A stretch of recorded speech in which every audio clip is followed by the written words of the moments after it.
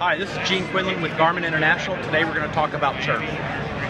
Traditional sonars are just going to show a fish target as one blob off at the bottom. With chirp, you'll be able to discriminate the different types of fish right off at the bottom. And that's the difference between chirp, Garmin chirp. Okay, uh, my name is Stuart Wood. Today I'm going to talk to you about uh, using the split screen zoom mode on your fish finder to enhance your chances of uh, having more fish detail on the screen. If we look at this NSS Evo 216, we're in full screen right now.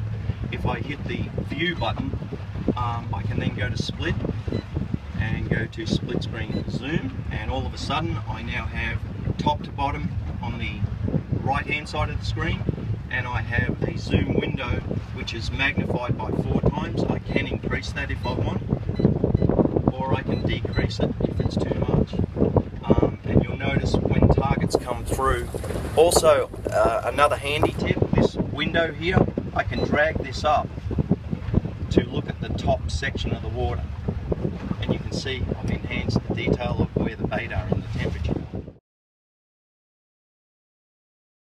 Hi, I'm Jim McGowan with Raymarine, and we're looking at this GS165 and our CP570 chirp sonar.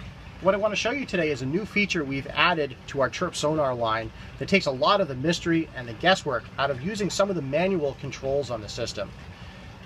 Up here off the screen, I'm going to touch the gain control, and the gain control usually adds, um, increases or decreases the sensitivity of the system.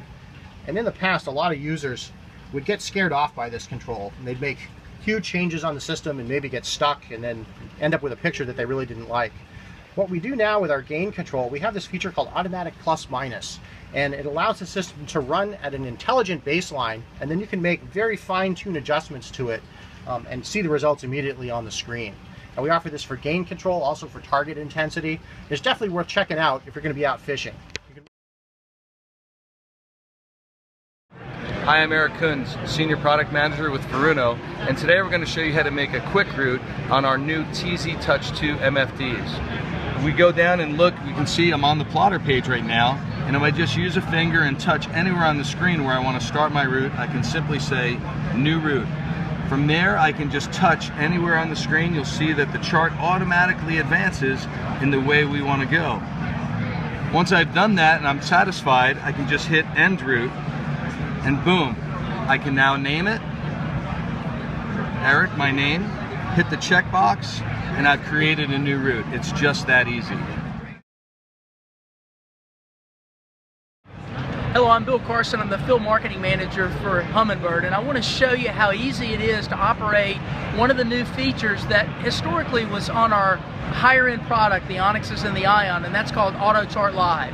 It gives you the ability to set up your own chart on the unit, actually recording your own chart on the unit, and you can add a zero line SD card, and with the zero line SD card, you actually have the opportunity to record for literally hundreds and hundreds of hours and not just eight.